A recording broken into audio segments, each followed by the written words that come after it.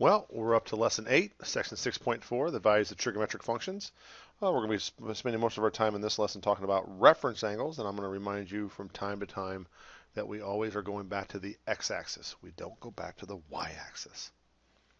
And here's a definition of a reference angle. Let theta be a non-quadrantal angle. Remember, those are angles that are, uh, quadrantal angles are 90, 0, 90, 180, 270, 360, those angles.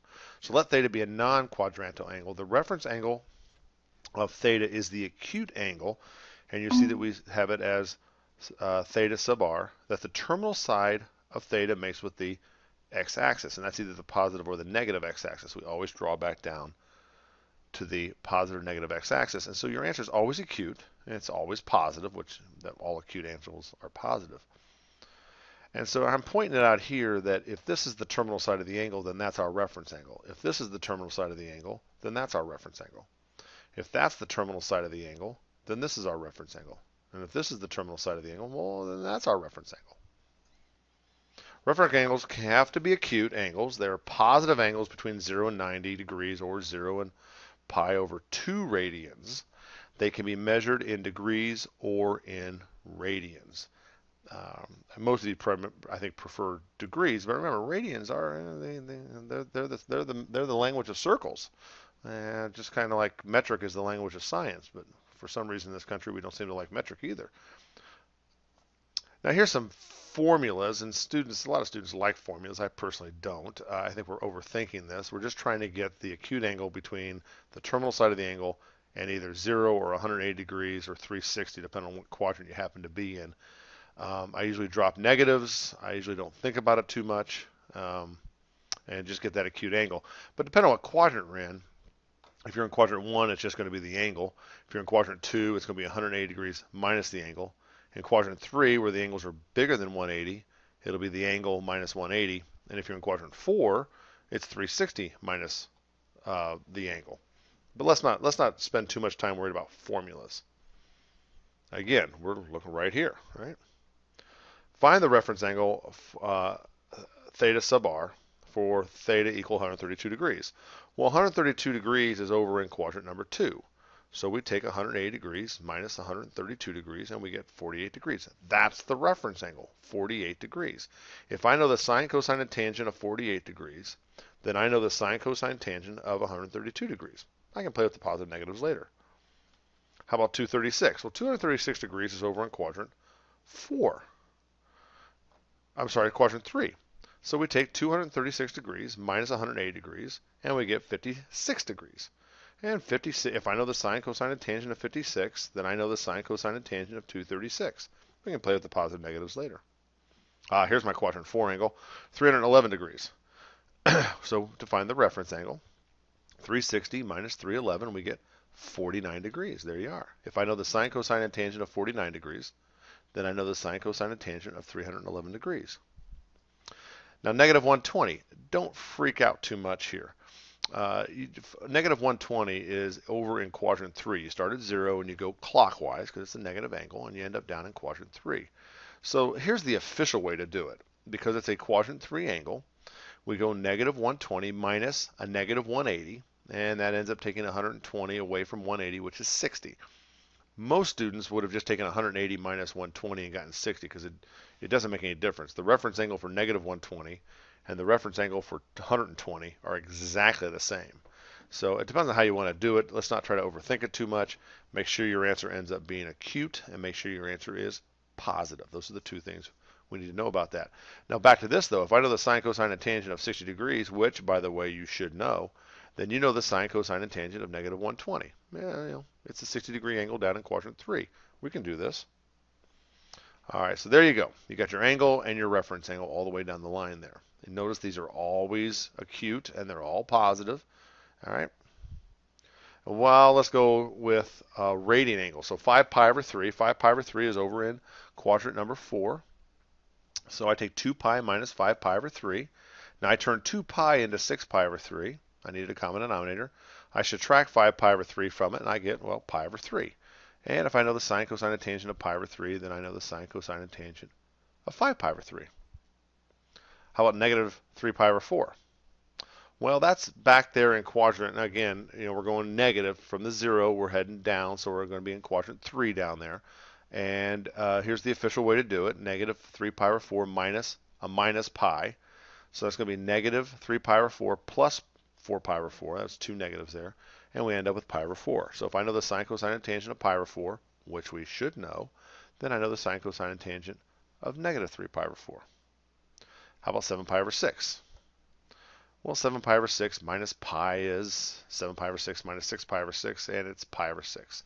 So the reference angle for 7 pi over 6 is pi over 6. And if I know the sine, cosine, and tangent of pi over 6, then I know the sine, cosine, and tangent of 7 pi over 6.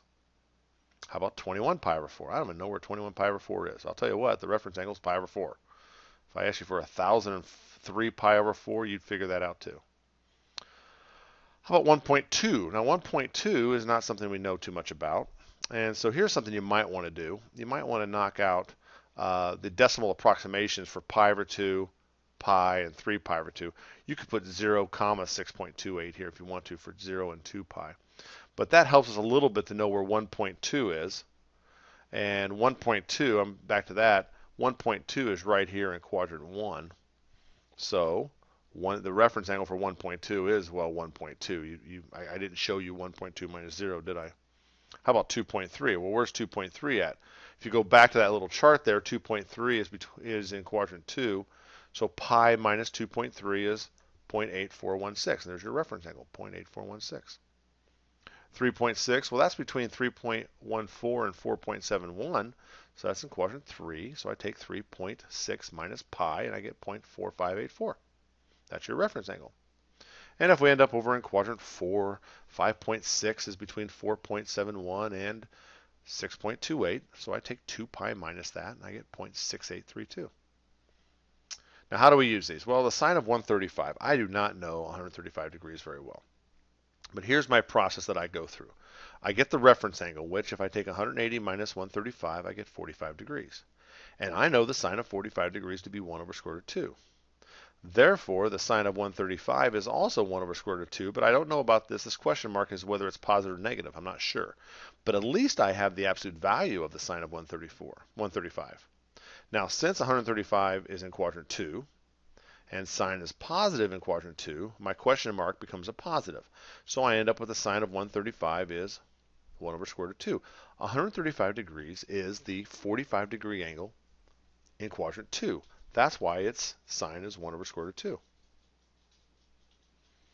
How about the cosine of 240 degrees?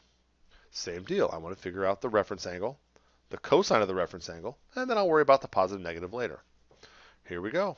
240 minus 180 is 60. This is the 60 degree angle down in quadrant 3. The cosine of 60 is 100 is 1 half. So the cosine of 240 is 1 half. I'm not sure about positive or negative though. Now since 240 is in quadrant 3, and the cosine is negative in quadrant 3, my, my question mark is negative. So the cosine of 240 is negative 1 half.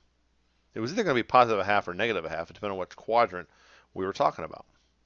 Tangent of negative 210. There are a couple ways to do this one. I'm, I'm going to show it this way. I'm going to keep that angle as negative 210 degrees though. And 210 degrees, negative 210, has a reference angle of 30 degrees. Again, 210 minus 180 uh, is 30 degrees. Now the tangent of 30 degrees is 1 over square root of 3. Therefore, the tangent of negative 210 is also 1 over square root of 3. And I got to figure out where is negative 210. Well, if you go to negative 210 is in quadrant 2. Uh, it stretches all the way around to quadrant 2. And the tangent is negative in quadrant 2. Therefore, my question mark is negative. So the tangent of negative 210 is negative 1 over square root of 3. Now, we could have taken the negative out front found the tangent of 210, which I'll tell you is 1 over square root of 3, and then applied the negative later, we still would have gotten this. So if you want to factor the negative out, you're more than welcome to do that. Uh, you end up with the same answer, though. I will say that if you factor the negative out, don't forget it's there. Now, cosine's a little different because the cosine of negative 390 is actually the same as the cosine of 390 degrees. We could have taken the negative out here and simply found the cosine of 390. But let's go ahead and play around here. 390 minus 360 is 30 degrees. So we're talking about the 30 degree angle here in quadrant number one because we've gone all the way around and now we're talking about 30 degree angle. And the cosine of 30 degrees is square root of 3 over 2. Therefore, the cosine of negative 390 is, well, question mark square root of 3 over 2. Now, since negative 390 is all the way around in quadrant 4, now again, we're, we're going negative here, so it was a whole trip around plus 30 degrees, and cosine is positive in quadrant 4, the answer is positive. Now, had we factored that negative out, remember it just disappears with cosine. Really, it would have been cosine of 390. We would have ended up in quadrant 1, and we still would have got a positive square root of 3 over 2. So whether you deal with the negatives up front or whether you just go ahead and stay with the negative angle won't make any difference. Now that I'm looking at this, I really wish I should have taken that negative out of there and just found the cosine of 390. Because remember, the cosine of negative theta is exactly the same as the cosine of theta. Either way, though, you'll get the same answer. Sine of 5 pi over 4, well, you ought to recognize the reference angle as pi over 4 rather quickly. And so the reference angle is pi over 4. The sine of pi over 4, the sine of 45 degrees, is 1 over square root of 2. So therefore, our sine of 5 pi over 4 is 1 over square root of 2. Now we got to worry about the positive negative. Now since 5 pi over 4 is in quadrant 3, and sine is negative in quadrant 3, we end up with a negative 1 over square root of 2. Had, if we're talking about the 45 degree angle in quadrants 3 or 4, the sine would have been negative. If we're talking about the 45 degree angle in quadrants 1 or 2, the sine would have been positive. How about the tangent of 11 pi over 3? Well, 11 pi over 3 minus 2 pi is 5 pi over 3. So 11 pi over 3 is coterminal with 5 pi over 3. And that means they share a terminal side, but it also means their sine, their cosine, their tangent is exactly the same. So I don't need to deal with 11 pi over 3 anymore. I'm going to deal with 5 pi over 3. I can deal with that. The reference angle is pi over 3. The tangent of pi over 3 is square root of 3. Therefore, the tangent of 11 pi over 3 is square root of 3. Since 11 pi over 3 is coterminal with 5 pi over 3, and 5 pi over 3 is in quadrant 4, and tangent's negative in quadrant 4, I know we're going a long way here, aren't we? And it turns out that it's a negative square root of 3. Well, it had to be because we were down in quadrant 4. Tangent's negative in quadrant 4.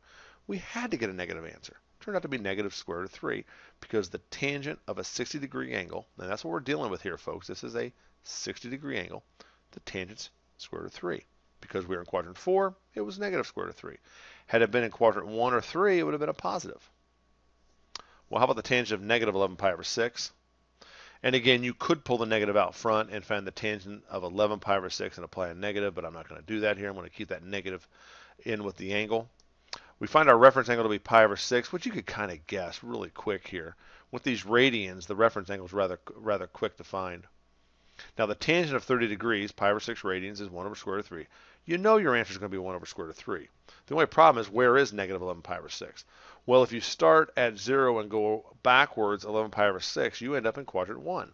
And all three functions are positive in quadrant 1, so therefore the tangent is positive. And we get 1 over square root of 3.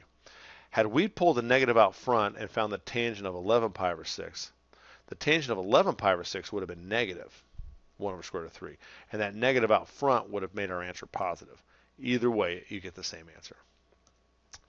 Cosine of 7 pi over 4, well, right away you know that you're talking about a pi over 4 angle. Pi over 4 has a cosine of 1 over square root of 2. 7 pi over 4 is in quadrant 4. Cosine is positive in quadrant 4, therefore our answer is positive 1 over square root of 2. So if we're in quadrants 1 or 4, cosine is positive. If we're in quadrants 2 or 3, cosine is negative. Tangent of 7 pi over 6. Now 7 pi over 6 is over there in quadrant 3. All tangents are positive in quadrant 3. Your reference angle is pi over 6. The tangent of pi over 6 is 1 over square root of 3. Therefore, our answer is a positive 1 over square root of 3. So after doing all these questions, hopefully you realize what I'm trying to get to here. I don't want you to memorize the entire unit circle. I would like for you to memorize quadrant 1 really well. The sine, cosine, tangent, 30, 45, and 60 degrees. If you could do that, life is pretty darn good because then we use reference angle to figure out the sine, cosine, and tangent no matter which quadrant we're in. Now cosecant, 3 pi over 4. Now remember, cosecant is the reciprocal um, of sine. And so I'm going to play around with the sine here real quick. And we look here, and our reference angle is pi over 4. And the cosecant is the reciprocal of sine, so I do the sine of pi over 4, which is 1 over square root of 2. I take the reciprocal of that, and I get square root of 2. So my answer is square root of 2. Now, whether it's positive or negative is our only question. So where is 3 pi over 4? 3 pi over 4 is in quadrant 2. Sine is positive in quadrant 2, therefore cosecant is also positive, and our final answer is square root of 2. So I don't memorize cosecant, secant, or cotangent of anything. I know sine, cosine, and tangent, then I can take their reciprocals. Cotangent 5 pi over 3, well, I better know the tangent of pi over 3. Our reference angle is pi over 3. The tangent of pi over 3 is square root of 3. So we do 1 over the tangent of pi over 3. So our answer is going to be 1 over square root of 3. Now we have to just find out where is 5 pi over 3. 5 pi over 3 is in quadrant 4. Since tangent is negative there, cotangent is also negative there. So our final answer is negative 1 over square root of 3. That's my process. Find the reference angle, find the sine, cosine, or tangent of that, depending on which function we're dealing with. If it's a reciprocal, then I take the reciprocal of that sine, cosine, or tangent. Then I know my base answer, and then I figure out if it's positive or negative after that by figuring out which quadrant I'm in. And again, I'm only go, always going back to sine, cosine, and tangent. I don't deal with cosecant, secant, or cotangent very well. Secant negative 5 pi over 3. Here we are again, folks. You can look it over yourself, but my reference angle is pi over 3. The cosine of pi over 3 is a half. The reciprocal of a half is 2. And we end up with a 2 because we're in quadrant 1. Negative 5 pi over 3 stretches around to quadrant 1. And everything's positive in quadrant 1. This concludes lesson 8. Please get to work on the homework for lesson 8.